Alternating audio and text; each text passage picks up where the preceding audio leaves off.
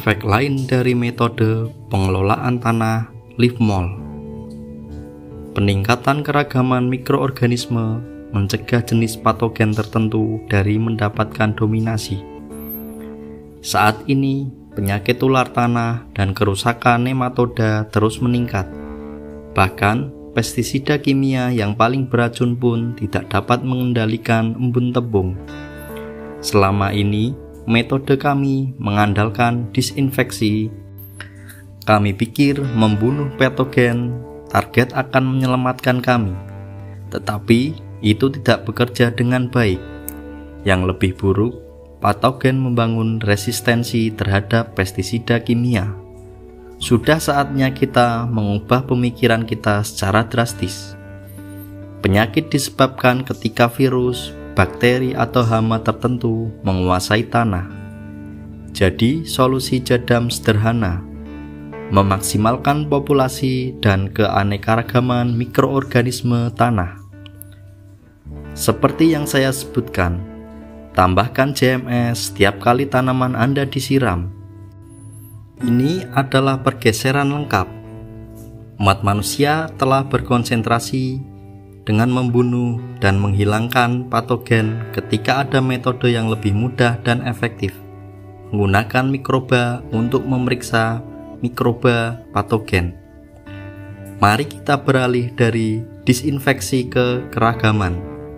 Sebagian besar patogen bersifat heterotrofik, artinya mereka tidak dapat menghasilkan nutrisi untuk diri mereka sendiri tetapi harus bergantung pada sumber nutrisi asing.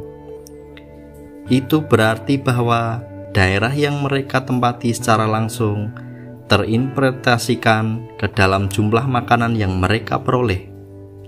Apa yang kita capai dengan berulang kali menyiram tanaman dan tanah dengan JMS?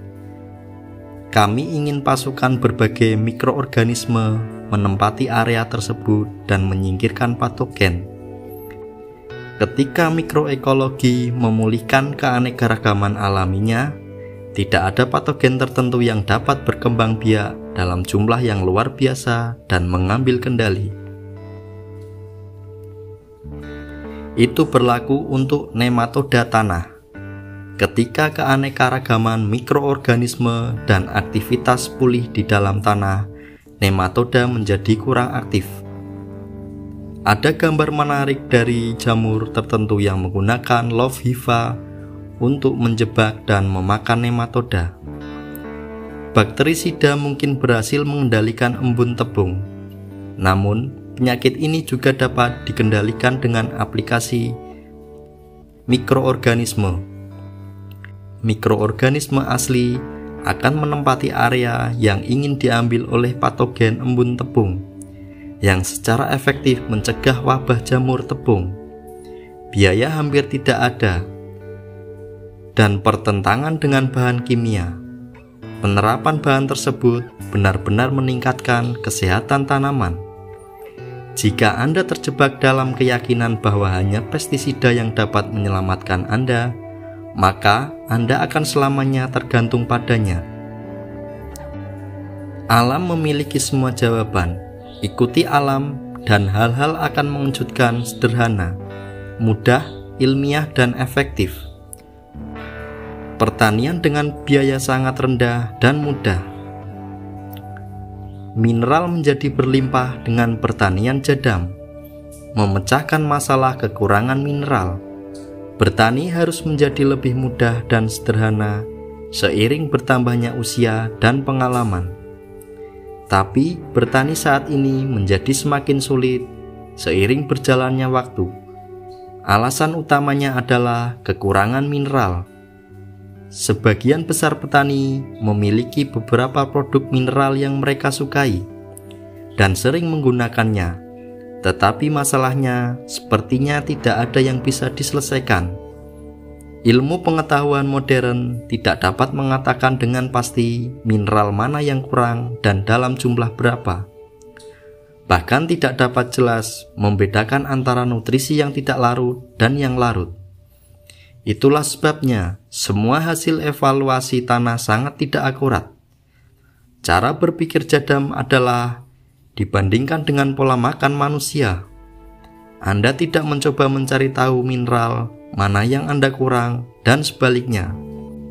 Anda mencoba memulihkan keragaman dan keseimbangan mineral dengan makan makanan yang sehat.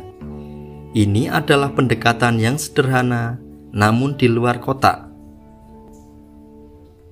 Diversifikasi mikroorganisme tanah Anda. Ini berarti bahwa tanah Anda dipenuhi dengan mikroorganisme yang berbeda dengan makanan yang berbeda. Diet yang berbeda berarti proses pencernaan dan ekspresi nutrisi yang berbeda. Dengan kata lain, keanekaragaman mikroorganisme berarti keanekaragaman unsur hara yang tersedia bagi tanaman. Singkatnya, keragaman dalam ekosistem tanah mendukung keragaman nutrisi yang tersedia. Selain itu, Air laut dengan 83 mineral yang berbeda dimasukkan ke dalam tanah, dikombinasikan dengan pallets. Tanah Anda tidak akan pernah lebih kaya mineral. Mineral di tanah Anda pulih baik dari segi keragaman dan kualitas. Tanaman akan pulih dari kekurangan mineral. Bertani konvensional seperti makan junk food, lalu minum pil vitamin untuk kesehatan, makan saja makanan utuh dari tempat pertama. Mengerti dunia keseimbangan dan keragaman mikroorganisme, keseimbangan dan keragaman nutrisi adalah inti dari jadam. Inilah yang membuat pertanian begitu mudah, efektif, dan sangat murah. Mineral menjadi berlimpah dengan pertanian jadam, memecahkan masalah kekurangan mineral Bertani harus menjadi lebih mudah dan sederhana seiring bertambahnya usia dan pengalaman. Tapi bertani saat ini menjadi semakin sulit seiring berjalannya waktu. Alasan utamanya adalah kekurangan mineral. Sebagian besar petani memiliki beberapa produk mineral yang mereka sukai dan sering menggunakannya, tetapi Masalahnya sepertinya tidak ada yang bisa diselesaikan. Toleransi hara tanah meningkat. Keterampilan yang rumit tidak diperlukan lagi. Semua nutrisi memiliki kadar optimalnya. Kekurangan itu buruk, tetapi kelebihan sekarang lebih baik. Hujan asam yang sering dan pengasaman tanah menyebabkan masalah. Misalnya, ionisasi aluminium menyebabkan busuk akar. Tidak ada solusi yang diketahui untuk masalah ini. Namun, masukkan konstan larutan mikroorganisme, air laut dan larutan pilot ke dalam tanah secara signifikan mengurangi busuk akar. Hal ini disebabkan kelebihan aluminium yang diserap oleh mikroorganisme yang suka aluminium dan karena itu aluminium dikeluarkan dari tanah. Karena aluminium disimpan dalam tubuh mikroorganisme, tingkat aluminium tanah dijaga pada tingkat yang optimal. Ini adalah peningkatan toleransi nutrisi. Hal-hal ini belum sepenuhnya dipahami. Jadam berpikir bahwa mikroba keseimbangan dan keragaman secara langsung terkait dengan keseimbangan dan keseragaman nutrisi tanah. Dan karena keseimbangan nutrisi dioptimalkan, tanah kurang sensitif terhadap kelebihan atau kekurangan nutrisi tertentu. Ada kecenderungan semakin berpengalaman seorang petani, semakin ia menganggap pengolahan tanah itu sulit. Jadam berpikir secara berbeda. Pilih leaf mold, jangan memilih mikroba. Gunakan semua. Baik dan buruk adalah satu Lakukan seperti yang dilakukan alam. Cara jada mudah karena di sini membuka satu pintu otomatis membuka sepuluh pintu lainnya. Cukup sering Anda mendengar orang membicarakan pH tanah. Ini lebih banyak terjadi di kalangan petani terpelajar. Mereka selalu berusaha mengontrol pH tanah dengan menambahkan kapur, asam silikat, bubuk cangkang tiram, dan lain-lain. Jadam berpikir secara berbeda. Hanya memberi larutan mikroorganisme jadam dan tanaman penutup Lalu, siram larutan mikroorganisme setiap kali Anda menyiram. Tambahkan sisa tanaman dan bahan organik ke tanah. Secara alami, pH tanah akan kembali normal. Memasukkan mineral dapat mengubah keasaman dalam waktu singkat, tetapi meningkatkan kemungkinan mengganggu keseimbangan nutrisi tanah dalam jangka panjang.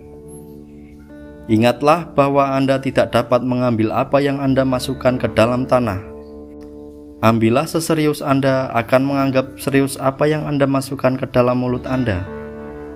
Tanah masih sedikit dipahami.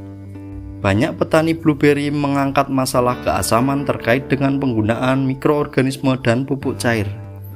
Mereka pikir mereka harus membuat input ini asam karena tanaman ini menyukai asam. Tapi ini tidak perlu. Kalau dipikir-pikir, Jumlah terbesar dari blueberry air yang diterima bukanlah pupuk cair tetapi air hujan. pH air hujan adalah sekitar 6 yang lebih dekat ke netral.